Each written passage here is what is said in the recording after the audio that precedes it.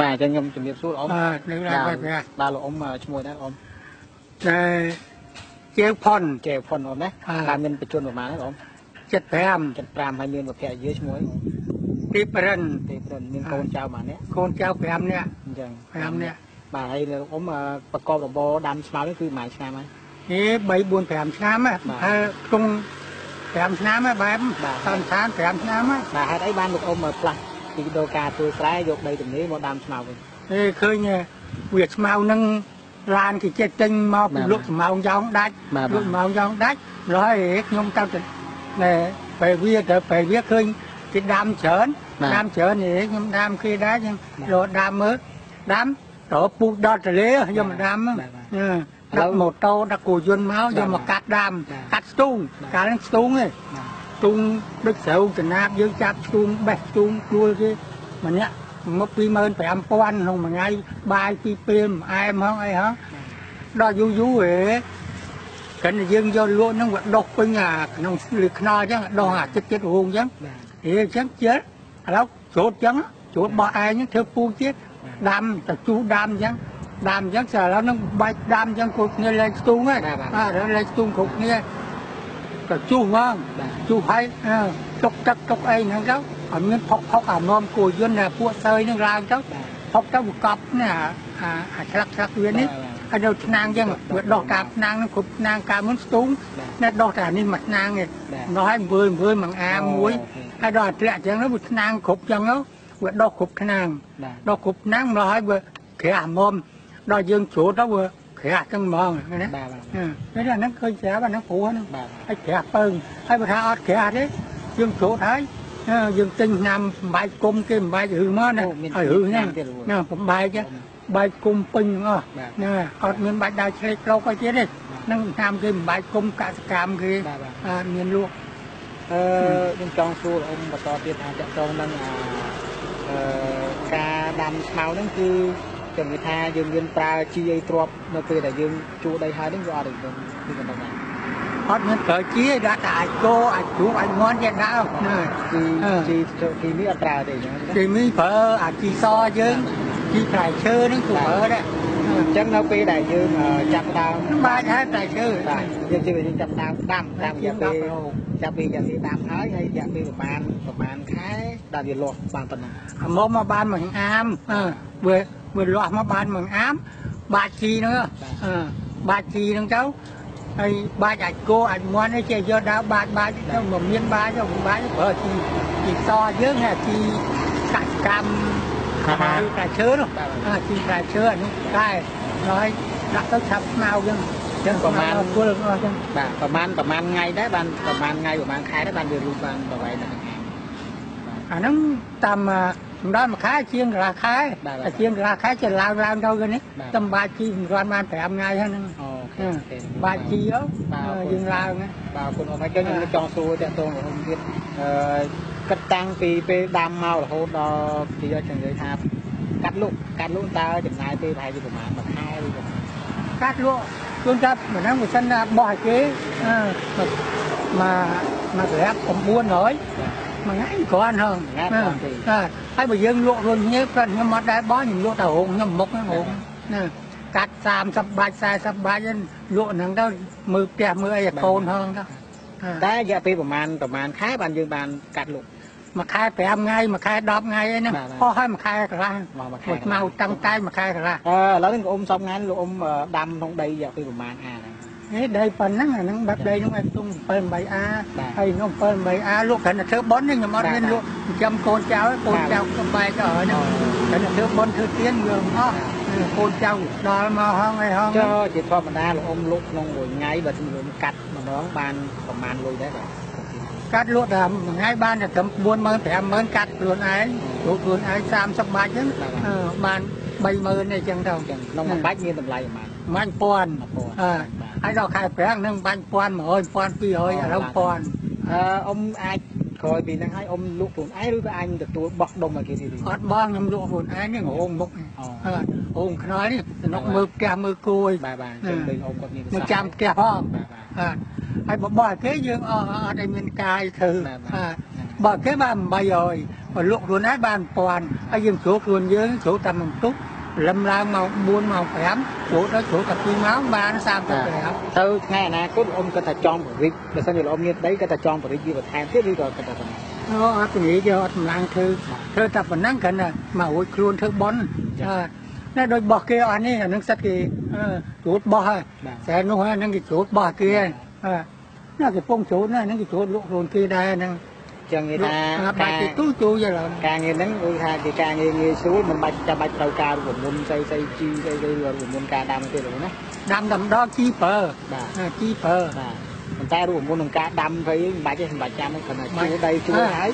បាទយើងបាទៅច់ទៅបងទៅឲ្យបាច់ហើយដាំតែម្ដងហ្នឹងបាន4 5ឆ្នាំមកអូបាទហើយបើមានអត់ម៉ាប់មានណត់មានអីស៊ីអាហ្នឹងកសកម្មគេគេមានលក់យើងទិញយកមកបាញ់មកបាទណាបើមានណត់ អាមានណត់ទីស្រូវទីអីហ្នឹងបាទឃើញតែវាក្រហមក្រហមអាហ្នឹងបាញ់ហៅអឺទិញរបស់គេយកបាញ់មកចាប់3000 2000ណាពមៀតណត់ចុះបើបើសិនជាគូអីយូស៊ីទៅស្មានឹងអាចឆាប់ធំឆាប់ផុតអីគោស៊ីដល់សារលៀងទឹកតិចមកនេះក្តៅមូលហេតុអីក្តៅអឺក្តៅអូខេណាអាសាលៀងទឹកតិចបាទពីរថ្ងៃលៀងម្ដងហើយមួយថ្ងៃលៀងម្ដងបាទមួយតគោខ្ញុំទីស្មៅហ្នឹងដែរហ្នឹងបាទប៉ិនខ្ញុំលៀងទឹកបើគេអត់លៀងទឹកក៏ប្រឹងណាបាទកុំ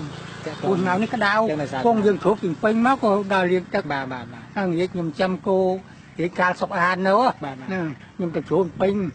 ប៉ិនគោបើជ្រុកហើយយំឲ្យស៊ីក្តៅបាទហើយបើលៀងទឹកថាប់ពីបាទអាដូចស៊ីកទួយហ្នឹងបាទអញ្ចឹងជាក់ស្ដែងនេះលោកអ៊ំក៏មានប្រសាសន៍ហើយគឺ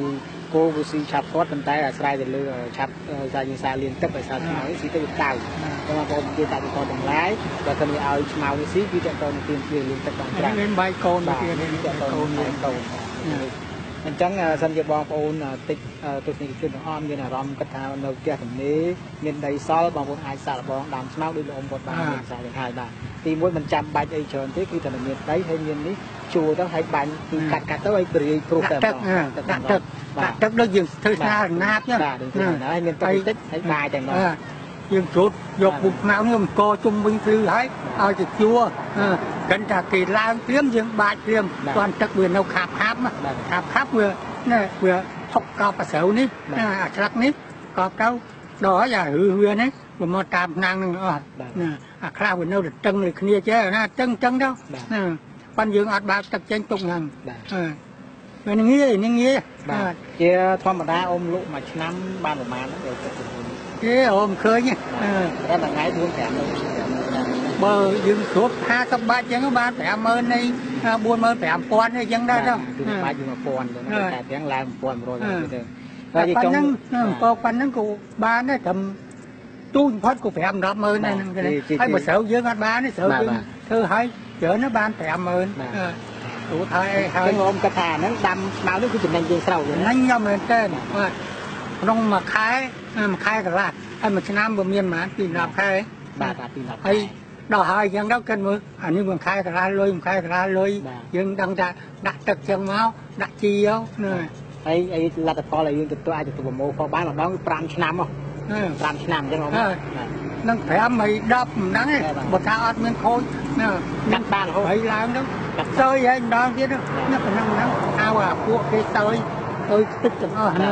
ដូចយើងណាណាត់វាវាយខ្ទេចខ្ទីទាំងអស់ទុកចោលហ្នឹងបូមទឹកចោលហ្នឹងទៅហ្នឹងបាច់ជ្រូតយកលុយទេបាទអាហ្នឹងយកពូជហ្នឹងសើយហ្នឹងវិញទៅបុកទៅដល់ហើយពីចុងក្រោយលោកអ៊ំតើអាចមានសំណុំពោឬក៏មានអីសម្រាប់បងប្អូនទៀតហេណាបងប្អូនណាដែលគេស្ម័គ្រចិត្តចង់ធ្វើវាចំណេញជាងស្រូវប៉ុន្តែ ខ្ញុំនិយាយទៅលោកខាតយោបាយមិនដឹងទេណាអត់អត់ទេប៉ុន្តែបើថាស្រូវមួយឆ្នាំធ្វើម្ដងដូចស្រូវអញ្ចឹងបាទមួយឆ្នាំធ្វើម្ដងទេបាទហើយធ្វើម្ដងបានប៉ុន្មានថាបាន50ម៉ឺនដូចស្រូវនោះថា50ម៉ឺននោះហើយបើស្មៅគេវិញត្រូវ3000បាទហ្នឹង3000អឺអា3 3លាន3លានអឺ3លាននោះតែស្រែកូនខ្ញុំអាមួយធំនៅយកស្មៅគេនោះបាទបាទបាទលក់លើកមុនបាន3លាននោះបាទណាណា ស្មៅវាចំណេញអញ្ចឹងបាទអញ្ចឹងម្ដង3លានម្ដង2លានវាចំណេញជាងស្រូវបាទប៉ិនចាច់ម៉ាក់ចិត្តទេបងប្អូនណាអត់តែមានទឹកគេធ្វើហើយបាទបាទតែគាត់ទឹកអាហ្នឹងបាច់ទឹកអាហ្នឹងដល់ខែ5នោះដងជីឆ្ងាយបាទប្រហែលកន្លះគីឡូនិយាយយូរមកដល់ហ្នឹងមកអញ្ចឹងអឺដូចគាត់អឺបានគាត់ក៏មានប្រសាសន៍គឺទាក់ទងនឹងការដាំស្មៅនេះគឺមានវិតចំណេញច្រើនគឺស្រូវដោយសារតែមានទឹកគឺបានដាំមកបានរហូត3 4ដងអញ្ចឹងណាមិនស្រូវយើងបានតែម្ដងទេ អអឺជីគឺថាដាក់យើងដាក់ទៅប្រលាក់គេបាទគេអត់យកលុយទេបាទដល់ច្រូតបានលុយឲ្យគេច្រូតបានលុយឲ្យគេគេអត់យកព្រាមព្រាមទេបាទបាទណាតាច្រូតអឺយើងអស់ហើយយកលុយឲ្យគេបាទណាយើងដឹងដល់ជាត្រូវការទៅយកទៀតយកទៀតមកណាតាច្រូតមួយសាយើងយកទៀតហ៎បាទអញ្ចឹងអឺលោកអត់មានសំណុំពរទៀតទេគឺមានតែប៉ុណ្្នឹងទេបាទបាទអញ្ចឹងខ្ញុំសូមអរបគុងណប្អូនណាចាំដើមមានអីវ៉ាន់នោះហ្នឹងខ្ញុំ អរគុណច្រើនចំពោះលោកមកបាទតាមអតិថិជនហើយ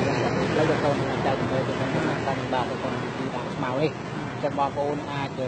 ចាប់អារម្មណ៍ក៏ទីយើងទស្សនាពីខ្លួនហើយបងប្អូនអាចចាប់អារម្មណ៍អាចអនុវត្តទៅតាមអ្វីដែលគាត់ហើយបងប្អូនចង់មកទិញពូជទិញពីនេះទៅមកមកក្រាប100ឯងបាទគាត់មានសំណុំពរគាត់ថាបើចង់ទិញពូជទិញពីគាត់ទៅឬថាក្នុងភូមិហ្នឹងហេមកថាអត់របស់ខ្ញុំក៏របស់គេមានដែរអត់គុំបៃទៀលតាភូមិបៃទៀល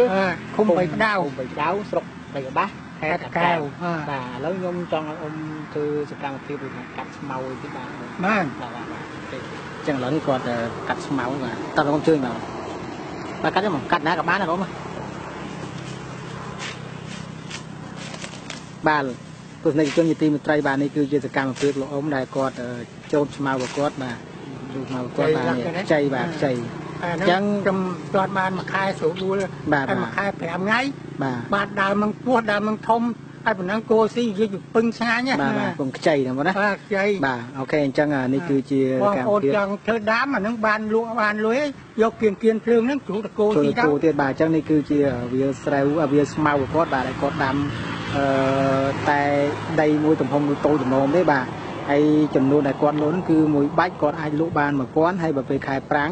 បាទគាត់អាច1100គឺ1200ហើយគឺគាត់លក់ខ្លួនគាត់គឺគាត់មានរោងមួយគាត់មួយបាទអញ្ចឹងនេះគឺជាកន្លែងវាស្មៅបាទវាស្មៅវាស្រែដែលគាត់ដាំស្មៅបាទនេះ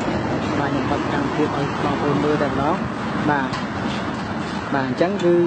នេះគឺជាសកម្មភាពវាស្មៅហើយវាស្មៅគឺងាយងាយដាំបាទងាយងាយដាំដោយលោកអ៊ំគាត់បានមានប្រសាសន៍ខាងដើមហើយបាទអញ្ចឹងអរគុណសម្រាប់បងប្អូនដែលការទស្សនានៅវីដេអូមួយទាក់ទងនឹងវិធីអឺនីតិវិធីនៃការដាំស្មៅនេះបាទបាទអញ្ចឹងខ្ញុំសូមបញ្ចប់ហើយដូចជាក់ស្ដែងបើសិនជាបងប្អូនត្រូវការពូជអឺស្មៅដាំបងប្អូនអាចតាក់ទងលោកអ៊ំគាត់មានប្រសាសន៍មែនទៅបាទតាក់ទងនៅគាត់គាត់នឹងមានបាទ